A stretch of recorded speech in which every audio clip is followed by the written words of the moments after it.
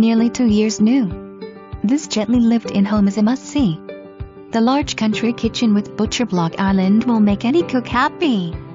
There is a second washer and dryer connection in the garage for farm clothes.